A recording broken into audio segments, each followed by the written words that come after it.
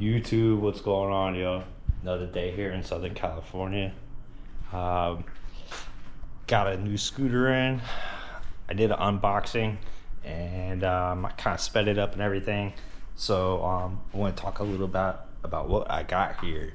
So this is the Q30 scooter. It's probably hard to see because it's black on black. Let this thing.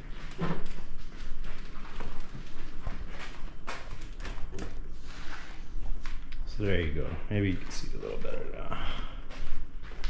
So that's an electric kick scooter for adults. I would not recommend this for your 10 year old or child. Um, as an adult, man, I wasn't ready for the power of this thing. It's it's exciting to ride. It is very exciting to ride. So let me give you some details. Like I said, I got it on Amazon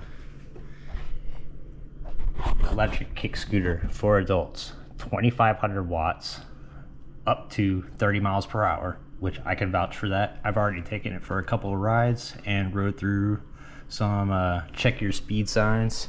And uh, i got 28 miles per hour and the best one i got was 31 miles per hour.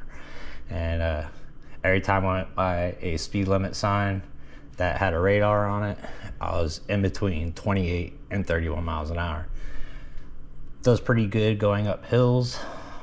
Um, I'm in Southern California and my neighborhood is full of hills. I couldn't not even give you details on the angles of degrees, but um, I'll show you on the ride that I'm going on.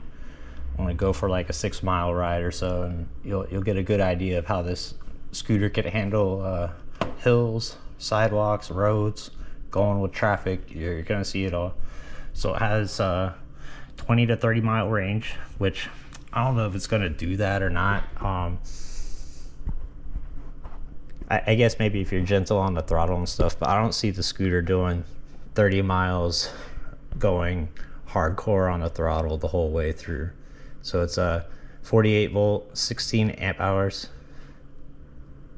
Hope I said that right. Has 11 inch heavy duty vacuum off road tires with hydraulic disc braking it also comes with like some spare brake pads in the bag, like as well as like some tools, like put your handlebars on or uh, make whatever kind of adjustments that you might need. Has turn signals on it, and um, has like lights like right along on here. I'll show you in a second. But um, it's the Q30 Kickstart Kick Scooter for Adults it's fun, man. I I'm not gonna lie. The scooter that I had before this is like a little Gotrax at those like 15 miles an hour, and um, I mean it, it, that's one I would recommend for your kids. I'll do a, a video on that one a little bit later. Um, it, it, it one's fun to ride too. This one has a rear wheel drive and these huge nubby tires. Out here in California, when I take my bicycle off-road a lot of times i catch thorns in the tires and i'm always changing inner tubes on that thing. I've taken this thing on the same trails that i get thorns on that thing every time and uh, i pop tires. On this scooter i haven't popped the tire yet. In fact there's a thorn right there in the tire. No problemo you can see the brakes nice big disc brakes Here's another thorn. You don't have to worry about them. You know what I mean? So that's why I got this. These tires right here alone is why I purchased this scooter. So I've had great luck with the tires so far. I've probably put about like 30 or 40 miles on it since I've owned it in the last week and a half. Just having fun around the neighborhood. Super fun. You have turn signal controls right here. If you hit the brakes, you get a brake light. You got a horn. If you turn on the lights, you got a tail light. And then you got some cool color changing lights. RBGs, I think is what they're called. And then a nice white crisp LED light, which I've driven this thing at night. Um, that's probably one of my complaints. I wish this thing was a lot brighter because if you're going down a dark road 30 miles an hour, you better be paying attention because you can't see very much with that little light. Um, and I, my other one single complaint is, is that this is in kilometers per hour. We live in the United States here in California, obviously. So um, I looked over this whole thing, this display, tried finding a place to where I could change the kilometers per hour to miles per hour. I don't know if there's a way to make that conversion or not, but that is kind of like my one little complaint. I mean, it's not that big a deal.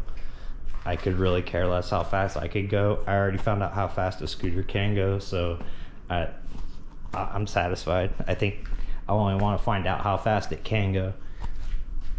Downhill, I have had this thing up to like 65 kilometers per hour according to that speedometer. And uh, I mean, I was going down not too too steep of a hill, but this thing still gets up and goes. And then another thing that I'm still kind of confused about is that it has two charging ports, which I'm assuming it has two batteries. Cool. But when I charge one, it gets to full charge and I go to plug it into the other one and it's still full charge. So I don't know if uh, like one of these batteries is dedicated to the lights or if they're like wired in series so they charge up each other when you charge up the one so i don't really understand why there's two charging ports if i charge up one and it charges up both of them so uh, I, if anybody has an answer to that right there or how to change this to kilometers per hour to miles per hour that'd be awesome, man. Drop me a comment in the description, man. I would, I would love uh, someone to let me know. But uh, let me strap my camera on the scooter and we'll go for a quick ride. You can see how it performs for yourself.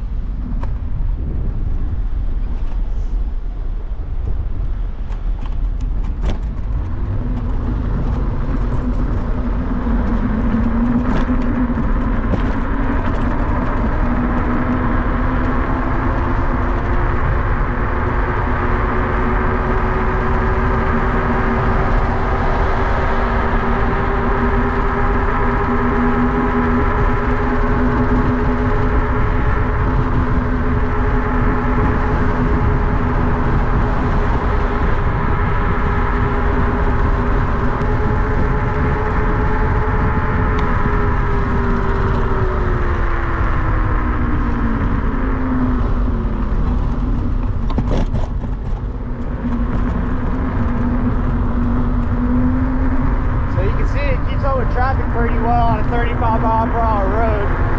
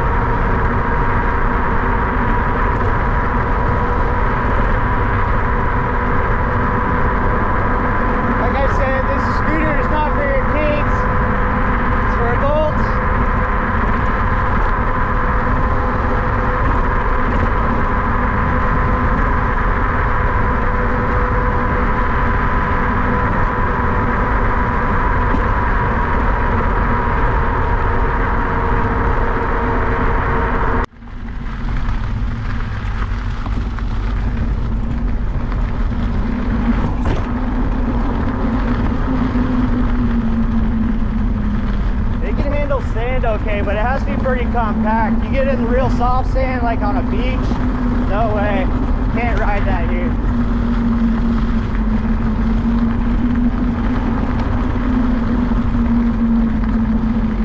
Sand like this though, no problem. Sometimes it might dig in a little bit.